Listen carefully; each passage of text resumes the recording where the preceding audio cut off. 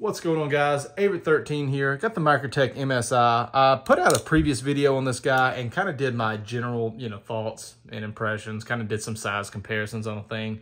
But what I forgot to do was kind of showcase the action a little bit more with this RAM-LOK. And um, I had some people who were asking about the pocket clip.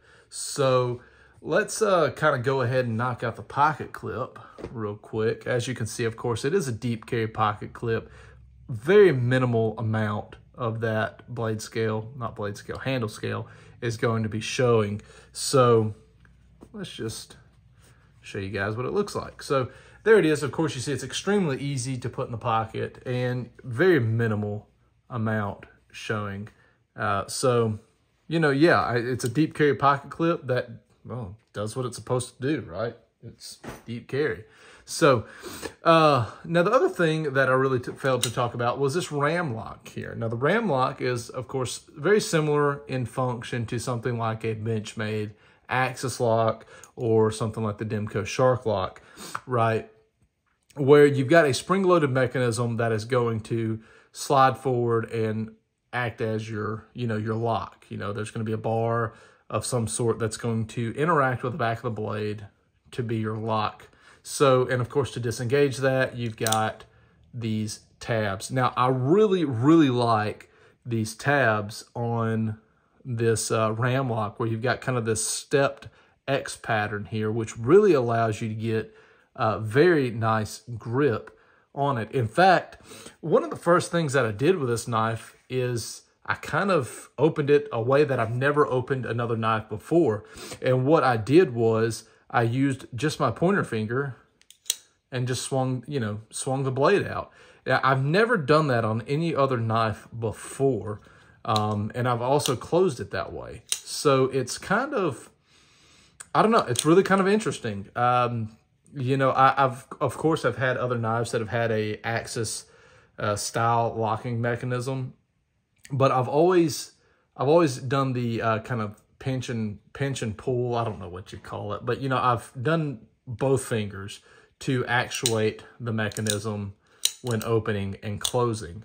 Um, so that, I don't know, that's something that I kind of thought was cool is that, you know, you can do it with one finger. Um, of course, you can do it with your thumb too if you want, but that's a little, I don't know, that's a little awkward. It, it's doable, but it's a little awkward.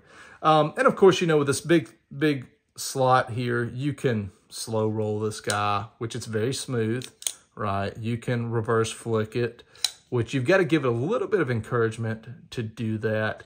Um, but that's not, that's not uncommon, right? On, on knives with this style of a locking mechanism, I kind of find that that's, that's the norm, right? So for example, if, you know, Demko, right, Shark Lock, if I just, just do finger flick there, that's about all I'm getting. But if I give it some encouragement, you know, with the wrist, it's going to go out. And so likewise, if I just, just do just the finger and, and nothing else, that's about all you're going to get. You go ahead and give it some encouragement. It's going to come out and it's going to deploy just fine. Now that is, is very common with a mechanism like this.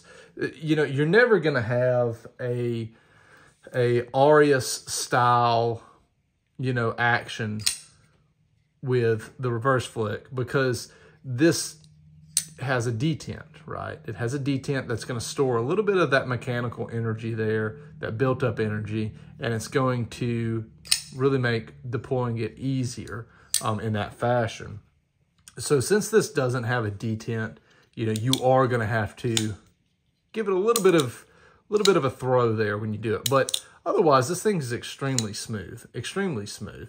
So yeah, guys, that's it. That's the RAM-LOK. Extremely, extremely well done. Um, I really, really am enjoying the stepped kind of pattern here on, on these levers or these bars, if you will, that really allow you to get some nice, nice grip and purchase on there. Um, like I said, I've opened this knife a way that I've never opened any other knife previously. And that's purely because of, uh, you know, the, the grip that you're able to get on there. And it's not sharp, you know, it's very comfortable, um, but it's, it's grippy. It's grippy and comfortable. So yeah, guys, Microtech MSI, new RAM-LOK. This thing's going to be a big hit, guys. Um, as always, please consider liking the video, subscribing to the channel, and as always, guys, stay sharp.